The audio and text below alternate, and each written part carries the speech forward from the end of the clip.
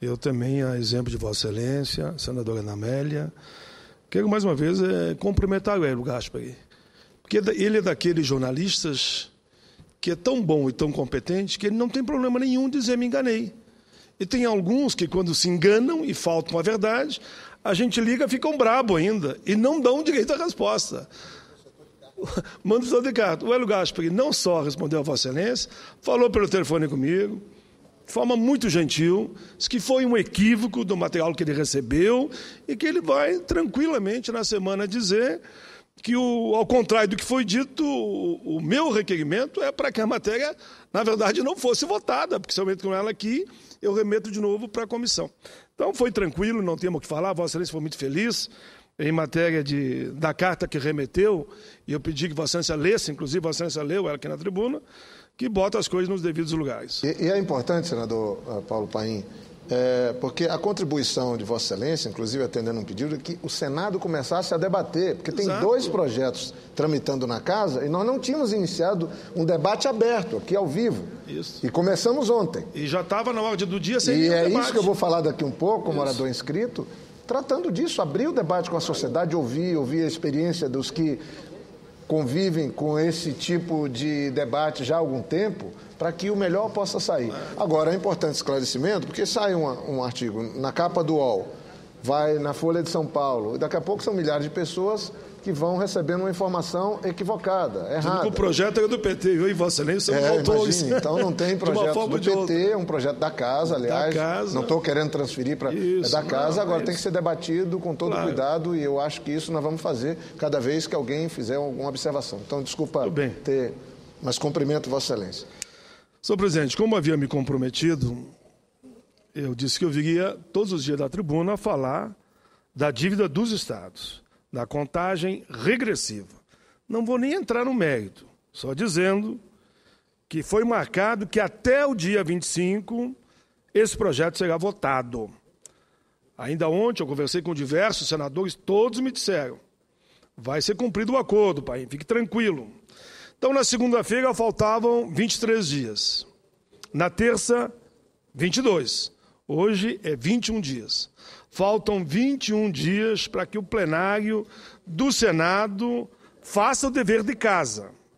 A Câmara dos Deputados já fez, mediante um amplo acordo entre o Executivo e aquela casa, e nós nos comprometemos aqui de também votar.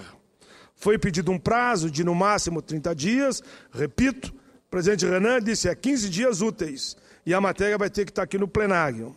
Então faltam 21 dias contando de forma corrida todos os dias e não só os dias úteis.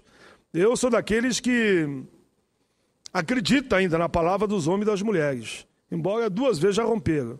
Era para votar em dezembro, não votaram. Era para votar na primeira semana de fevereiro, não votaram. Aí eu me lembro daquela frase, e aí eu tenho que ter todo cuidado de não errar, porque eu li muito pouco a Bíblia, né? Que Jesus disse que, se eu não me engano, um dos apóstolos ia negar ele três vezes.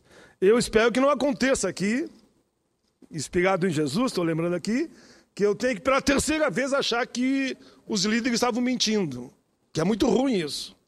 Diz a ética parlamentar que a mentira é cassação de mandato no parlamento. Então eu não acredito que os líderes estejam mentindo e que o momento exigiu uma certa tolerância mas de que será cumprido no prazo agora de 21 dias a votação da dívida dos estados. Eu não vi nenhum senador se posicionar contra esse prazo. Nenhum. Nenhum, e não só os líderes. Nenhum. Mesmo aqueles que tinham posição divergente em relação a essa questão. Como eu não vi nenhum, eu acredito que essa unanimidade será respeitada. Aproveito, senhor presidente, nesses meus cinco minutos para elogiar de forma muito respeitosa, e, e sei que ele merece, o presidente da CCJ, relator Vital do Rego.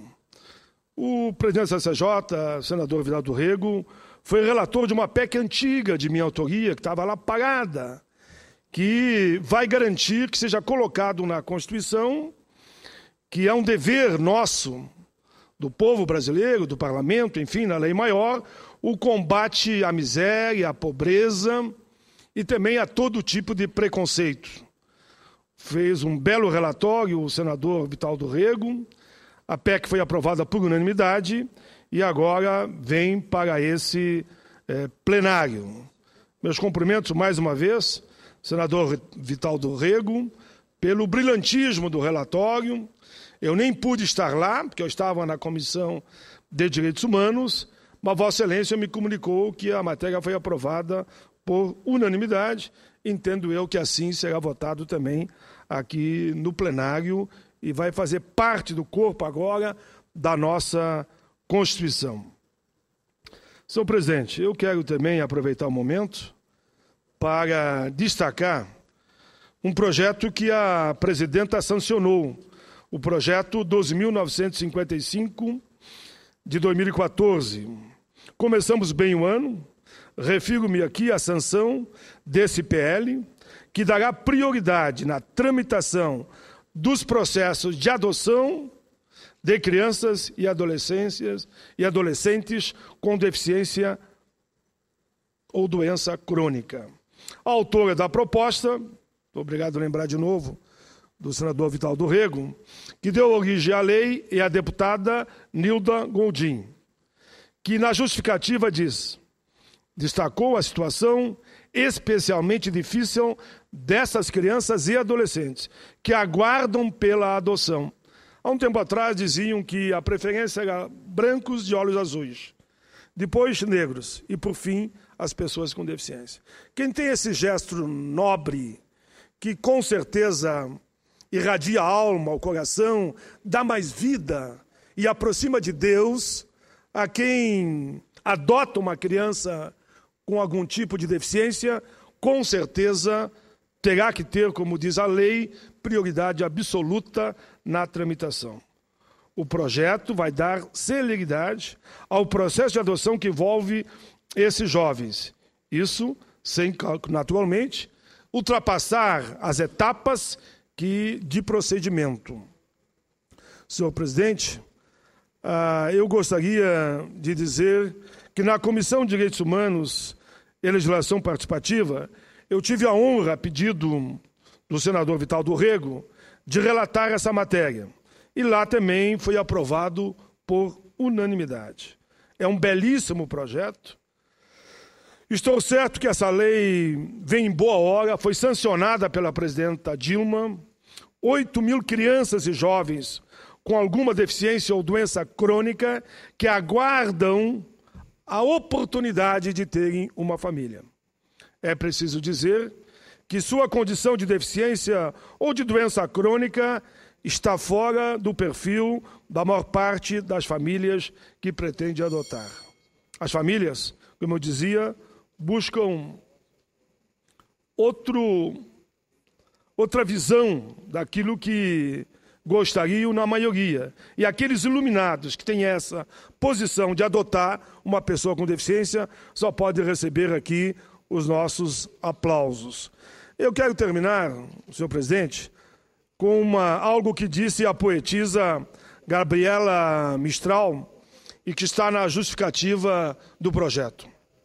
Somos culpados de muitos erros e muitas faltas, mas nosso pior crime é o abandono das crianças negando-lhes a fonte da vida, o contato com a família. Muitas das coisas de que necessitam podem escapar. As crianças não podem esperar. Agora é o momento. Seus ossos estão em formação. Seu sangue também tá, está e seus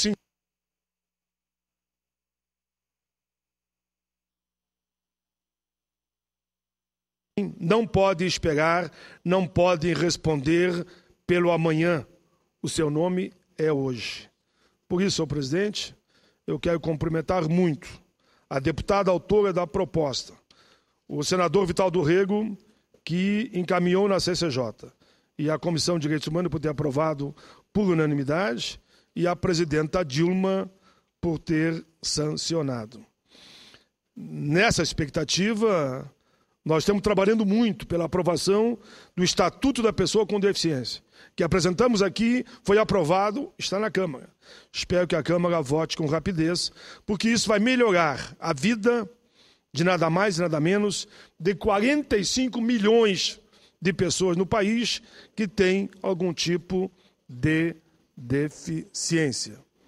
Termino, senhor presidente, agradecendo a Vossa Excelência e fazendo um apelo, naturalmente, a pedido da Comissão de Direitos Humanos, que o nosso requerimento, que pede que a lei do terrorismo seja apreciado pela Comissão de Direitos Humanos, seja debatido aqui no plenário e que se dê, então, o caminho adequado que esperam aqueles que militam nessa causa dos direitos humanos. Obrigado, presidente.